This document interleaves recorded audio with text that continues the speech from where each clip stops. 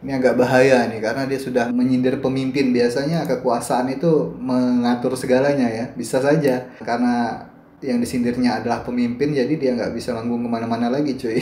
Yo yo yo, selamat datang di channel ini dan terima kasih sudah klik video ini. Tapi harus di subscribe juga dong. Subscribe itu gratis loh, gratis alias free alias nggak bayar, nggak bayar. Asik. Halo assalamualaikum warahmatullahi wabarakatuh. Selamat datang kembali di Indore.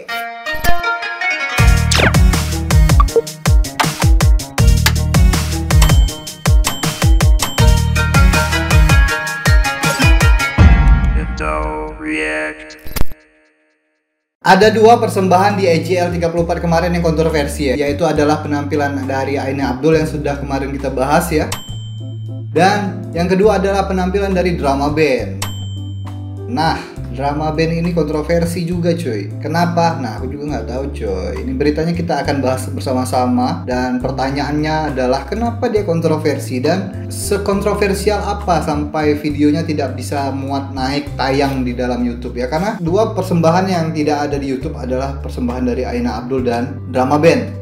Aku cari-cari memang nggak ada cuy. Dia kemarin pakai kostum yang seperti ini cuy ya, membawakan lagu andalan dia ya, ini membawakan lagu drama. Katanya sih dengar-dengar dia terlalu berlebihan untuk menyindir atau membuat penampilannya ya. Menyindir artis-artis menyindir kan lagunya ini kan kontroversi karena lagunya ini lagu sindiran ya untuk artis-artis dan untuk penyanyi-penyanyi dan untuk tokoh-tokoh yang ada di Malaysia ya salah satunya adalah katanya sih mantan perdana menteri ya. Mungkin sindirannya terlalu mengena atau gimana ya. Jadi ya nggak ada videonya di YouTube lagi ya. Jadi kita lihat beritanya tentang kontroversinya kemarin ini ada di barian.com.my ya. Nah ini dia cuy. Kontroversi AJL 34 drama band minta maaf. Nah dia sudah minta maaf ternyata. Vokalis kumpulan drama band Aipul Roza mempertahankan persembahan pada anugerah juara lagu AJL ke-34 malam tadi sebagai kritikan sosial yang disampaikan dalam bentuk satira. Oke, itu adalah kritikan memang. Lagunya memang lagu kritikan itu. Mendakwa tidak berniat mengecam atau menjadikan karakter mana-mana individu sebagai sindiran. Aipul bagaimana mohon maaf atas keterlanjuran mereka. Saya mewakili drama band mohon maaf atas keterlanjuran kami dalam persembahan tadi malam.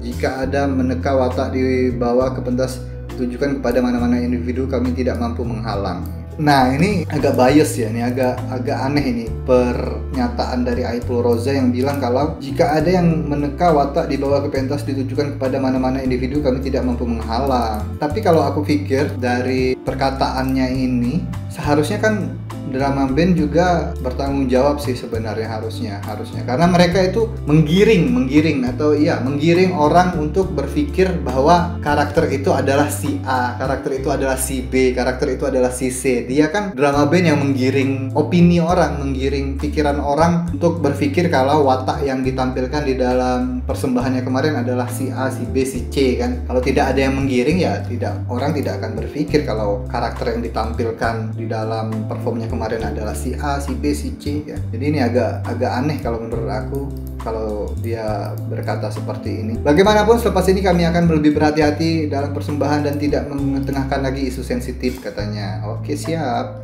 Tapi kalau nggak ada isu sensitif agak kurang naik cuy lagunya cuy.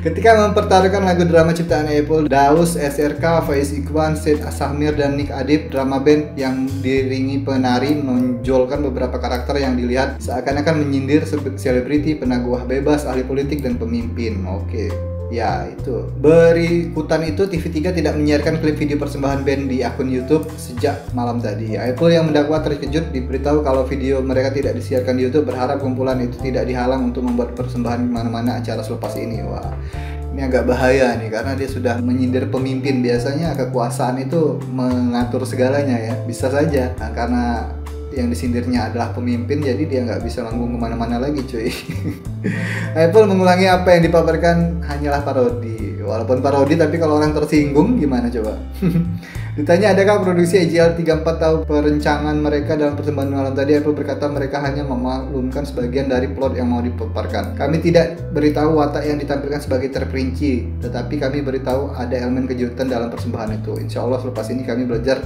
dari kesilapan katanya. Oke, ternyata dia sudah di briefing, sudah memberitahu pihak TV3 pihak AJL kalau secara garis besarnya kalau penampilan mereka nanti seperti ini. Tapi mereka tidak memberitahu watak-watak secara detailnya ada siapa saja di dalam watak situ dan ada gimmick apa aja nanti. Ya itu bukan salahnya TV3 sih sebenarnya kalau uh, videonya langsung dipadam seperti itu ya. Berarti memang salahnya Apple Rosa tidak drama band yang tidak memberitahu secara detail ya. Jadi pihak TV3 juga nggak tahu kalau persembahannya nanti ada watak siapa saja, ada siapa saja ya di dalamnya ya. Ini juga ada berita dari mstar.com.my ya. Nah ini drama band tiada niat singgung mana-mana pihak segelintir orang tak dapat terima message kami. Iya, bukan segelintir orang lagi lah banyak lah. Sejujurnya kami tidak ada niat pun nak menyinggung perasaan mana-mana pihak dengan persembahan konsep cynical parody itu. Tak sangka pula perkara ini menjadi isu. Mungkin ada segelintir orang yang tak dapat terima message yang kami coba sampaikan. Apa-apapun kami minta maaf kepada semua pihak yang tersinggung dengan persembahan itu, kata Apple kepada M-Star. Ya, mungkin drama band saat mengeluarkan lagu ini kontroversinya bisa direda ya, bisa direda. Tapi yang kedua ini mungkin pentasnya terlalu berlebihan ya. Karakter-karakter yang dikeluarkannya yang dibawanya di atas panggung itu terlalu berlebihan. Mungkin saja memang terlalu berlebihan ya. Silap lah drama band di AGL 34 ini Nah ini coy, gambarnya yang dia menyinggung yang jadi kontroversi itu yang ini yang tidak bisa diterima tuh yang ini mungkin. Antara karakter yang menyerupai Datuk Seri Najib dan Datin Seri Rosmah. Ini coy ini mantan perdana menteri kan ya?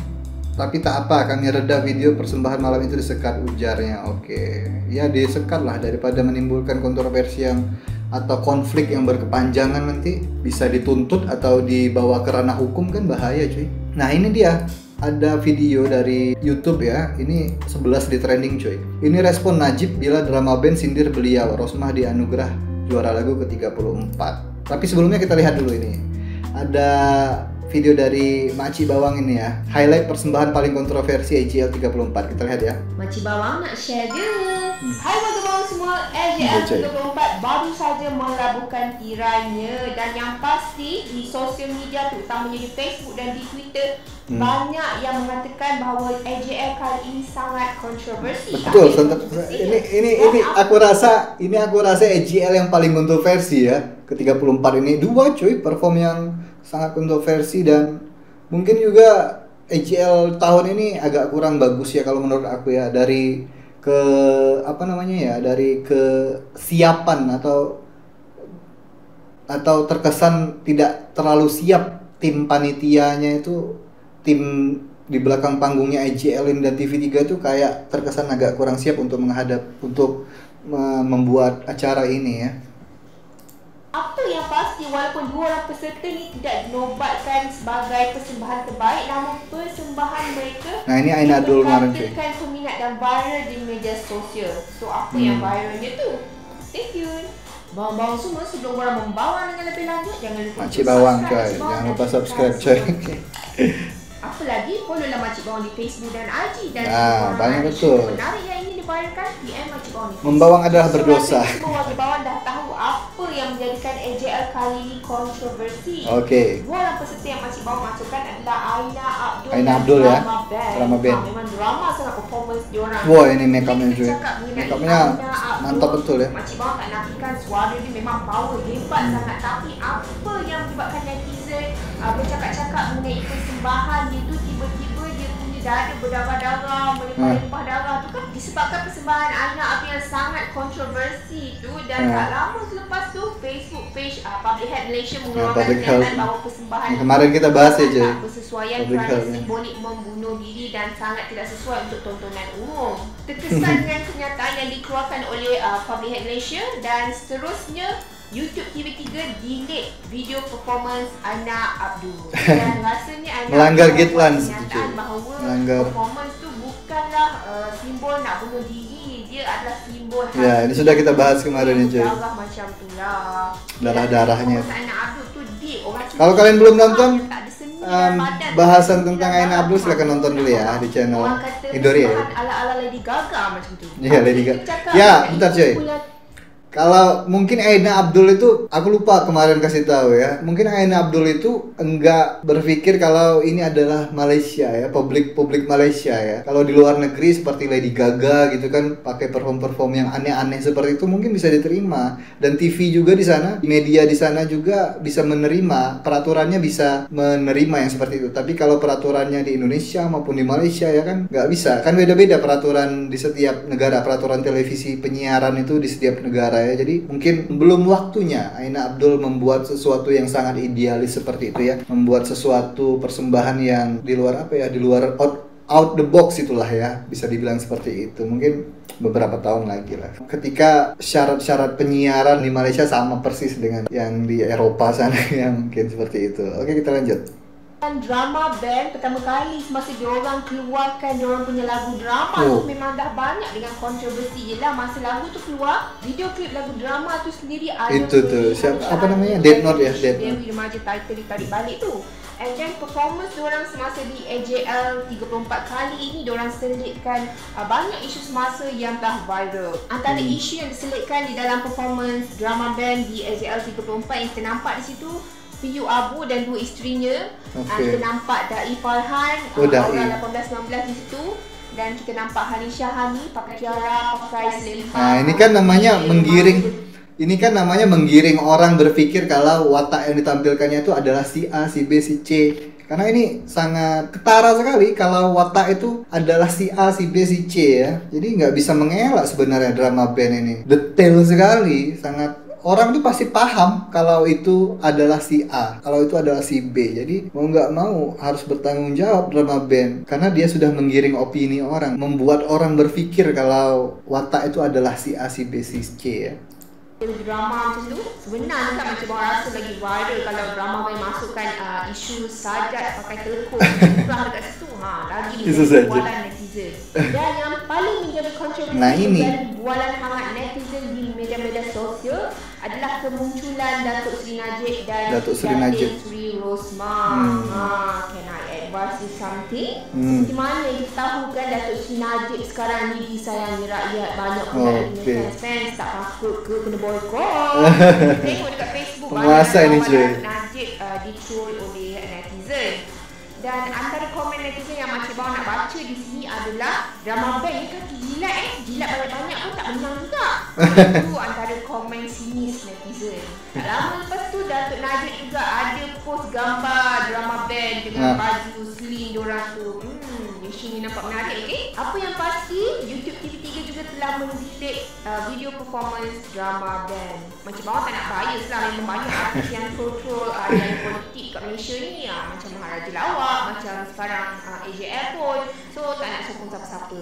By the way di kesempatan ini macam bawah nak ucapkan tahniah Oke, itu dia ya. Kontroversinya kemarin ternyata dia menyinggung Datuk Najib itu ya. Jadi ini kita lihat videonya satu lagi tentang responnya Datuk Najib itu ya dari channelnya Bekas Perdana Dramawan. Menteri Najib Razak Bekas Perdana Menteri, cuy. yang membuat persembahan kontroversi pada anugerah juara lagu membabitkan diri beliau dan isteri Rosmah Mansur. Hmm. Sewaktu drama band mempersembahkan lagu muncul dua watak badut. Okey. Seorang individu lelaki berpakaian koprat dan seorang lagi wanita yang berbaju kurung sambil membawa beberapa beg tangan berjalan di karpet merah. Kedua-dua watak itu dipercayai menyerupai Najib dan Rosmah. Iya iya. iya. Najib membuat hantaran di media sosial mengenai bagaimana drama band pada waktu dahulu memakai baju program kerajaan BN tetapi kini menyanyikan lagu untuk program Tol di Langkawi. Satu lagi hantaran di Facebook Najib mencatat kejayaan program skim latihan satu Malaysia ketika pentadbirannya dulu tanpa menyentuh secara langsung persembahan drama band.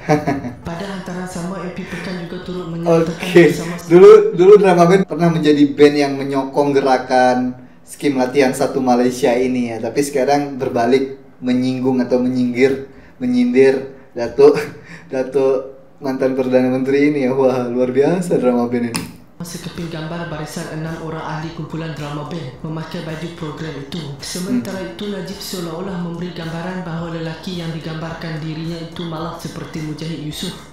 Jika dilihat antara Twitter vokalis kumpulan tersebut, Apple Rosa, kumpulan itu pernah terlibat mempromosikan program Slim pada dua tahun lalu. Hmm.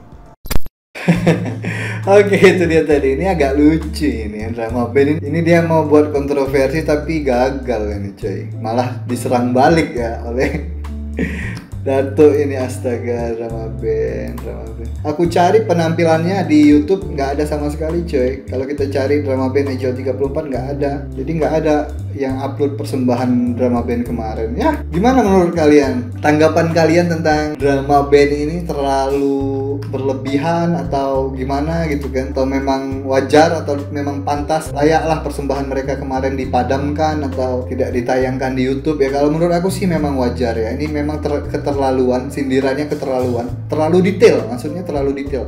Terlalu mengena gitu kan kepada watak-wataknya tadi. Ya mungkin ini kesilapan ya. Ini salah satu kesilapan dari drama band yang akhirnya di counter attack oleh mantan perdana menteri ini. Dato itu ya dulu dia pernah menjadi band yang mempromosikan program dari Dato itu. Sekarang dia menyindir Dato itu dan di counter attack lagi oleh Dato itu. Lucu ini cuy. Lucu ini tapi ya semoga saja dia tidak diboykot dan tidak di blok di mana-mana panggungnya ya, rezekinya ya. Karena yang disindirnya ini sudah penguasa coy. Biasanya kita kalau menyindir-nyindir penguasa itu nggak bisa apa-apa coy. Karena kekuasaan itu power banget ya. Oke, itu dia bahasan kita untuk EGL 34 drama band. Kalian boleh komen, kalian boleh bahas juga di bawah. Silahkan komentar di bawah tentang performnya drama band. Apakah terlalu berlebihan atau tidak ya? Gimana menurut kalian? Oke, jangan lupa saksikan terus Indoriek. Nanti akan aku reaction lagi penampilan-penampilan yang lain dari EGL 34 kemarin. Masih banyak penampilan yang belum aku reaction. Jadi untuk video kalian cukup sampai di sini aja. Sampai ketemu lagi di selanjutnya. Terima kasih untuk teman-teman yang sudah menonton video ini. Terima kasih untuk teman-teman yang sudah subscribe dan support channel ini. Dan akhir kata peace, dan respect per Indonesia. Ciao.